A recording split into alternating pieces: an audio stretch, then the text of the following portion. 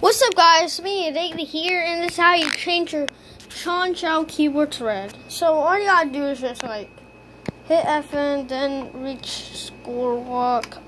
My right there we go. Now yet this, if this key, if the yeah, if the keyboard stands um.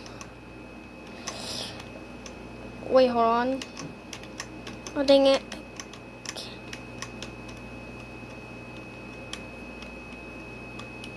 And if the keyboard stands um blue, it, if it stands the blue the whole time, then don't just like hit this like every time because um that the, if you like if the keyboard stands blue, you're correct. And all you gotta do is just hold FN and you hit and you hit INS.